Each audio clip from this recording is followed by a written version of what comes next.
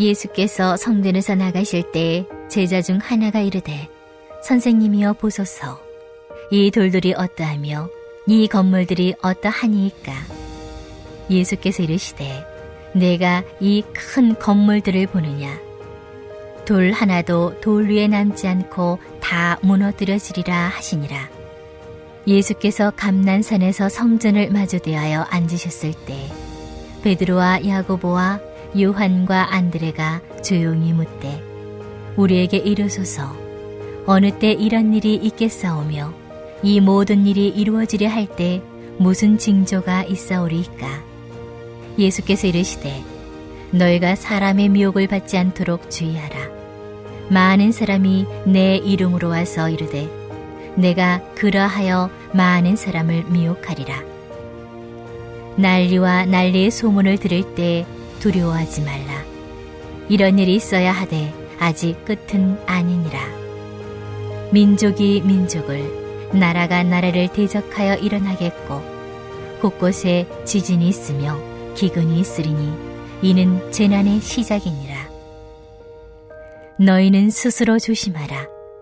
사람들이 너희를 공회에 넘겨주겠고, 너희를 회당에서 매질하겠으며, 나로 말미암아 너희가 권력자들과 임금들 앞에 서리니 이는 그들에게 증거가 되려 함이라. 또 복음이 먼저 만국에 전파되어야 할 것이니라. 사람들이 너희를 끌어다가 넘겨줄 때 무슨 말을 할까 미리 염려하지 말고 무엇이든지 그때 너희에게 주시는 그 말을 하라. 말하는 이는 너희가 아니요 성령이시니라. 형제가 형제를, 아버지가 자식을 죽는 데에 내주며 자식들이 부모를 대적하여 죽게 하리라. 또 너희가 내 이름으로 말미암아 모든 사람에게 미움을 받을 것이나 끝까지 견디는 자는 구원을 받으리라. 하나님께서 사랑하시는 우리 안디옥계 성도님들 예, 잘 주무셨습니까? 말씀으로 하루를 시작하시는 우리 모든 분들에게 하나님 주시는 참 평안과 기쁨이 함께 하시기를 축복합니다. 네, 오늘은 종말에 대한 이야기입니다. 여러분 옛날 드라마에 종말이가 종말이가 나왔었는데요. 아들과 딸 그 드라마 기억나십니까? 네, 귀남이도 나오고 기억나시죠? 네. 종말의 뜻은 끝이라는 뜻입니다. 더 이상 없어. 끝. 이제 더 이상 딸은 필요 없어. 끝. 그래서 딸 이름을 예, 종말이라고 그렇게 지은 것이지요. 우리가 사는 이 땅도 이 세상도 언젠가는 끝날 것입니다. 끝을 아시고 끝을 내시는 분은 누구이십니까? 바로 하나님이십니다. 왜요?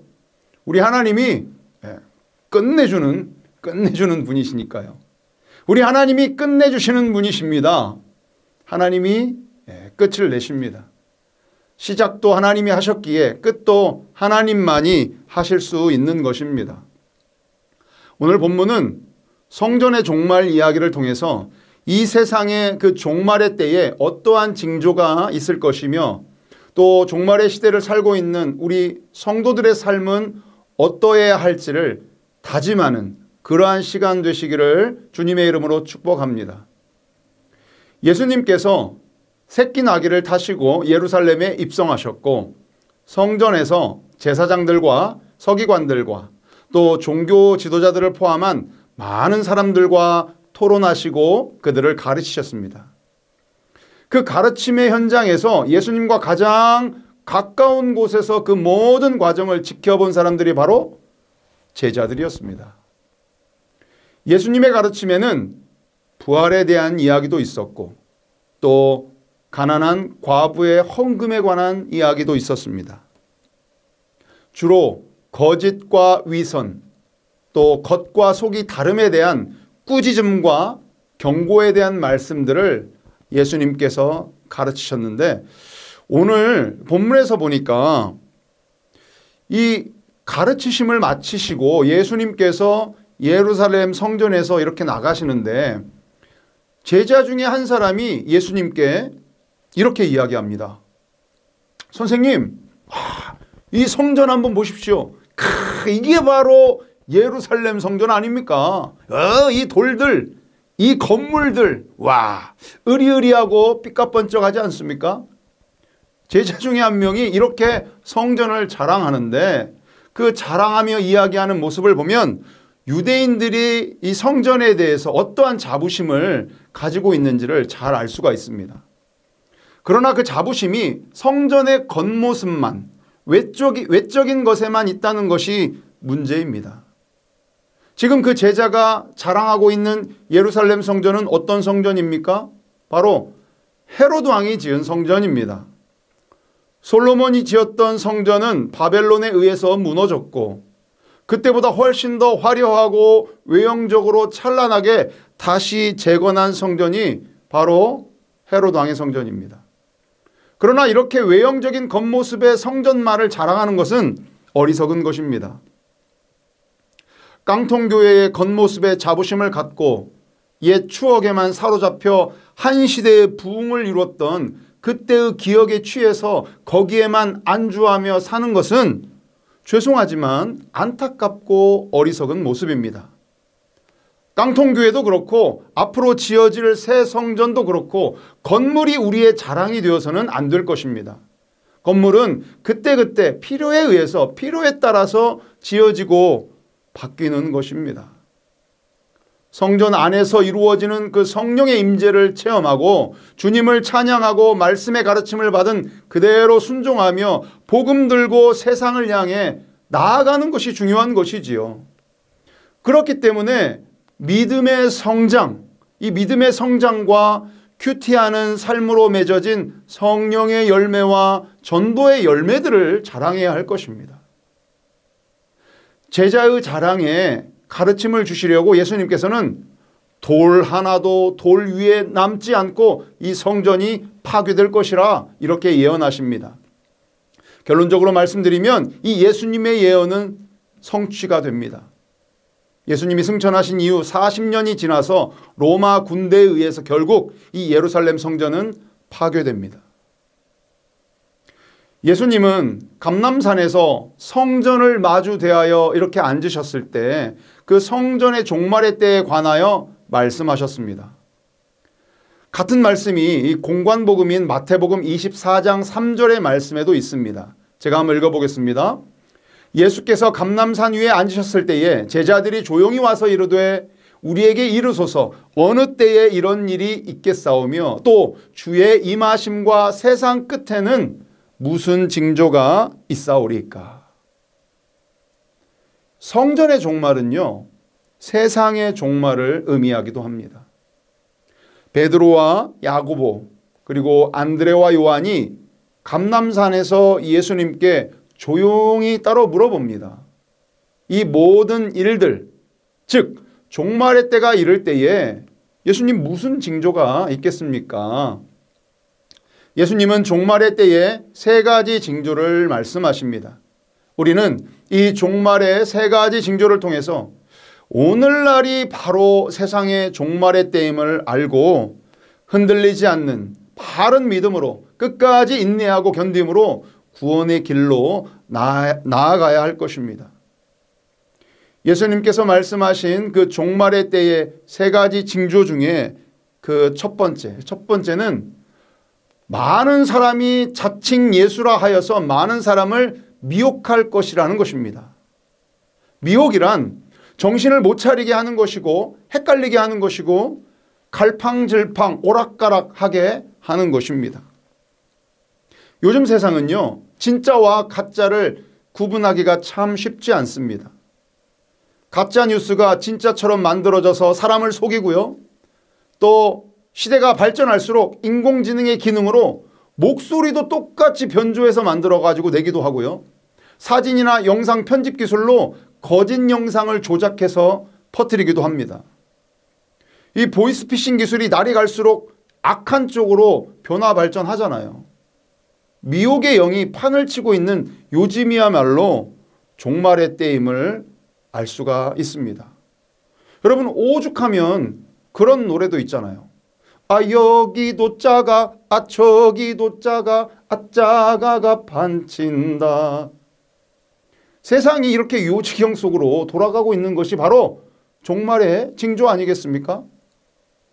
요즘도 마치 자기 자신이 마치 재림 예수라도 된 것처럼 기적들을 거짓으로 흉내내고 또 거짓으로 만들어내기도 하면서 사람들을 미혹하고 있습니다. 요새 그 유행하는 유튜브 영상을 보면 한 젊은이가 전도자라는 이름으로 직통 계시를 막 이야기하고 예수 행세를 하고 전 세계를 돌아다니고 있습니다. 이렇게 무분별하게 만들어지는 유튜브 영상들이 오늘날 세상을 미혹하는 도구로 사용되어지고 있는 게 참으로 비참한 현실입니다. 이러한 것을 보면 지금이 정말 종말의 때가 분명합니다. 이단은요, 끝이 조금 다를 뿐입니다. 구별하기가 쉽지 않습니다. 그렇기 때문에 여러분 제발 무작정 아무 영상이나 찾아보지 마시고요. 목사님들에게 꼭 물어보시기 바랍니다.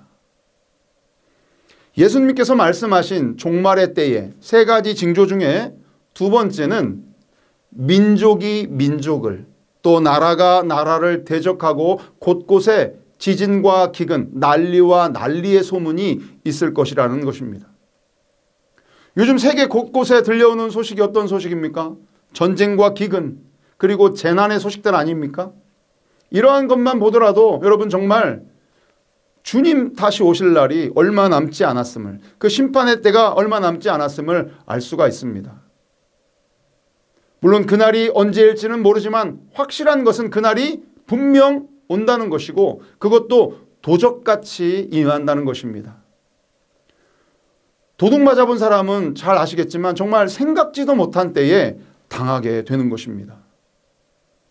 그래서 아무리 강조해도 지나치 않는, 지나치지 않는 것이 무엇이냐면 매일매일을 말씀과 기도로 사는 것이고 늘 깨어있는 것이고 우리의 믿음을 스스로 점검해 보는 것이고 믿음을 지키기 위해서 주님의 도심을 구하며 살아야 되는 것입니다. 세 번째, 종말의 때에 벌어지는 일은 핍박을 당할 것이라는 것입니다. 환란과 가난과 고난이 있을 것이라는 예언입니다. 사실 어떻게 보면 성도에게는 당연한 일일지도 모릅니다. 세상은 점점 어두워져 가고 악해져 가고 있기에 일어나 빛을 발하기 위해서는 예수님처럼 자신의 몸을 태워 빛을 비추어야 할 것이기에 빛과 소금의 사명을 제대로 감당하며 사는 성도라면 환란과 가난과 고난은 어쩌면 당연한 것일 것입니다. 세상에 물들지 않고 작은 빛이라도 비추어서 어둠을 밝히며 살아가야 하는데 세상의 유혹과 시험이 폭풍처럼 몰아치는 그 풍전등화와 같은 이 종말의 시대에 작고 얕은 믿음으로, 믿음으로는 신앙을 지키며 살기가 힘들어진 그러한 시대가 되었습니다. 이러한 종말의 때에 성도는 어떻게 믿음을 지키면서 살아가야 할지 오늘 본문은 잘 말해주고 있습니다. 여러분의 성경을 한번 잘 찾아보시면요. 오늘 본문 3절에서 13절의 그 문단 소 제목에 이렇게 쓰여 있습니다. 진통의 시작이라고 쓰여 있습니다. 진통은 아이를 낳기 전 느끼는 것이지요. 즉 생명의 탄생을 위해서 마치 죽을 것 같은 그런 고통이 시작되는 것이 진통인 것입니다. 오늘 본문 8절의 마지막 부분에 재난의 시작이니라 이렇게 기록되어 있는데요. 이 재난이라는 단어의 원어적 의미가 바로 해산의 고통을 상징하고 있는 표현입니다. 종말의 때는 재난의 시작이고 해산의 고통과도 같은 때입니다. 그러나 다행이고 감사한 것은 해산의 고통과도 같은 종말의 때는 단순하게 고통으로만 끝나는 것이 아니라 그 뒤에는 생명이 있다는 것입니다. 해산의 고통 뒤에는 반드시 생명의 탄생의 놀라운 기쁨이 따라오는 것이잖아요. 그러하기에 종말의 때를 우리가 견뎌낼 수 있는 것입니다. 소망을 가지고. 성도의 노래라는 찬양의 가사의 내용을 보면 이렇게 되어 있습니다. 환란과 가난과 고난, 수고로움 속에도 성도는 그 믿음 지켰네. 주를 섬기는 일에 자신을 다 드리며 진리의 말씀과 성령으로 그 길을 걸었네. 그리스도 안에서 새롭게 하시고 그리스도로 인하여 자유케 되었네. 우리는 무명하나 유명한 자요. 죽음의 위기 속에도 참 생명 가졌고 근심하나 기뻐하며 가난하나 다른 일을 부욕해 하는 자로다. 아멘. 사랑하는 성도 여러분, 종말의 때에 해산의 고통이 시작되리라. 그렇게 말씀하셨는데요. 혹시 여러분 중에 여러분의 삶이 마치 종말의 때 임하는 그 해산의 고통과도 같은 그러한 어려움에 처해 있는 분이 계십니까?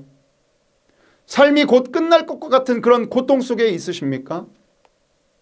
사랑하는 가족을 먼저 보낸 슬픔 또는 연인과의 이별의 아픔, 육신의 질병, 경제적인 어려움, 도전의 실패로 심한 좌절의 상태에 있는 분, 기대와 희망이 절망으로 바뀐 그 현실의 고통 속에 힘들어하고 계신 분 계십니까? 왜 나만 이렇게 힘드는 거야? 왜 하필 나에게 이런 고난이 찾아왔을까 하는 그 원망의 마음이 드십니까? 정말 삶의 종말이 나에게 가까이 다가온 것처럼 그렇게 느껴지십니까? 그러나 그럴 때일수록 여러분 기대하고 기뻐하십시오. 왜냐하면 고난과 역경의 때가 바로 하나님을 하나님의 뜻을 발견하고 하나님께로 더 나아갈 수 있는 그러한 기회가 되기 때문입니다. 하나님께서 우리를 그 부르시는 그 부르시는 신호의 귀를 잘 기울이시고 반응하시고 삶을 돌아보시고 돌이키시기 바랍니다. 지금의 광야의 길은 어쩌면 하나님께서 우리를 사랑하신다는 증거이고 예비하신 가나안으로 인도하는 인도하시는 출산의 과정일 것입니다. 여러분 종말의 때에 해산의 고통 중에 결국은 사랑스러운 자녀, 그 새 생명이 출생하듯이 고난 뒤에 있는 주님이 주실 축복을 미리 보면서 감사하시기 바랍니다. 종말은 가까이에 있습니다. 고통이 따를 것입니다. 그러나 고진감래의 마음으로 끝까지 견디는 자는 구원을 받을 것입니다. 오늘 하루도 이 종말의 시대에 주님께서 주시는 그 구원의 감격과 영생의 기쁨으로 승리하게 하시고 주님 주시는 지혜와 믿음으로 참과 거짓을 잘 분별하고 끝까지 인내하는 우리 안디옥 교회 모든 성도님들이 다 되시기를 주님의 이름으로 축복합니다. 내일부터 시작되는 여러분 설 명절 연휴 기간 어, 그 기간 동안에 예수님의 사랑을 가족들과 또 이웃들에게 증거할 수 있는 복된 명절 되시기를 간절히 소망합니다. 아멘. 우리 함께 오늘 주신 말씀 기억하면서 함께 기도하겠습니다.